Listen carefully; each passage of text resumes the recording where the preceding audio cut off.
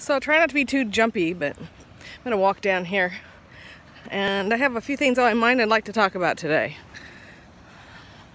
So, recently had somebody tell me, oh, I see you go on your walks and I wish I could do that. And I am really grateful to be able to do this every day. And it is awesome. But also, it's not an option for me. I have to do it. I have to get out here. I need this in order to live my crazy life that I live. Do you have a crazy life? Because sometimes mine is just overwhelming. And uh, so this centers me with lots of prayer and helps me to be able to focus on the important things and if I don't fill up my gas tank, I can't help anybody else fill up theirs, and I got a lot of people to help fill up. Luckily,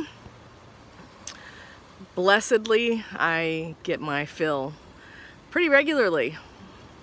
Well, at least every Sunday and every day that I scripture and prayer, which is every day because that's another thing I can't do without. So I hope you have a wonderful day, but remember, this is real. This is not, oh, her life's so great and perfect. Far from it. And if you know my life a little bit, you still only know a little bit. The demons are inside and you have to fight them off all the time. But ultimately, I got the Savior on my side.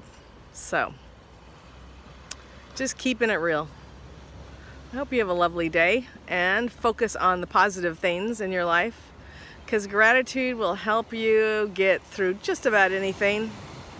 And I am certainly grateful for this glorious, beautiful place that is such a blessing in my life.